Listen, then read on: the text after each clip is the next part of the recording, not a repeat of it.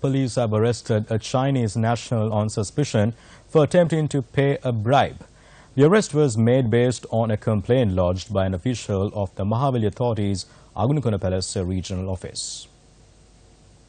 The office of the police media spokesperson said the Chinese national of China State Construction Engineering Corporation, which supplies rocks for the Matara Hambantota Expressway, had arrived at the Angunakolapelessa regional office of the Mahaweli Authority to extend the gunpowder license for the B section of the Galwale project. Thereafter, the Angunakolapelessa police received a telephone call claiming the Chinese national had attempted to pay a bribe of 20,000 rupees to the manager of the Mahaweli office to get the task done. Police arrested the Chinese national and produced him in court after questioning. The Angunakolapelessa Magistrates Court ordered the suspect to be remanded until tomorrow and to be produced before the Colombo Chief Magistrates Court.